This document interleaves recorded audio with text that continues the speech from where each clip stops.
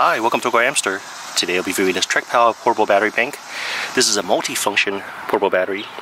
Let's first take a look at the accessories I came with.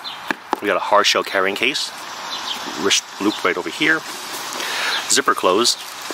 It came with a user manual, pretty well written. I'll just go over a couple pages of it.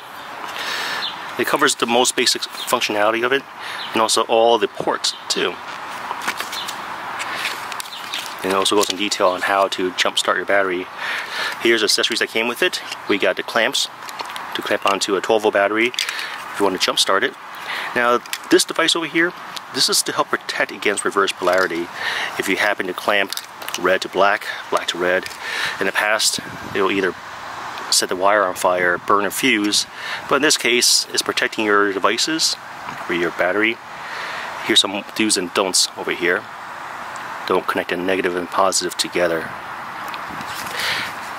Here's a little boost to start. Once you press that, you can start jump starting your battery.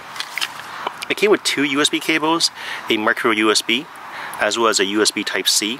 I'll go into why it came with the USB Type-C soon. And it also came with an accessories adapter. If you have, for example, a 12 volt fridge, you can plug it into this and just have it powered by this battery right over here, DC output. Now for this device right next to here, we have the input, the USB Type-C. I've been using this to charge my Nintendo Switch.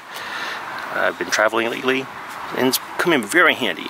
And one of the reasons why I'm able to charge my Nintendo Switch, has to do on this side, it's got quick charge support. And also standard USB support, so I can still charge my tablets, my smartphone, and my Switch at the same time. So got the um, flashlight, and here is the jump start connector. This part is very handy because at night I can turn on the flashlight. It's too bright outside right now. Let's turn this back off. I can turn on the flashlight and still see where I'm plugging in the jumper connect jumper accessories. Nothing else on this side. I'm back over here. It goes over some of the specs as well. Now for trucks, V6, V8s, no problem. If I press and hold this for about three seconds, the flashlight comes on. I tap on it, right now it's just blinking SOS. Tap on again, it's just blinking. Back to flashlight, press hold for three seconds, turns off.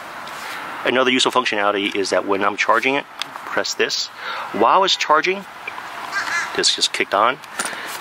The lights over here remain on I noticed that when my devices, whether it was my Switch or my smartphone devices, when these are fully charged, the lights over here automatically turn off. That means that there's no more power going through this. It's a smart way to conserve battery. Once the device is fully charged, there's no reason to keep these USB ports hot. The same concept goes for charging it. While it's being charged, the lights will turn on. Once this battery is fully charged, the lights here will also turn off. Now this did not come with an AC adapter nor a USB car charger. Those are very popular these days, but you still need to provide it yourself. This is the TrekPower multifunction portable battery. If you guys have any questions, comments, suggestions, feel free to contact me. Thanks for watching Awkward Hamster. Bye.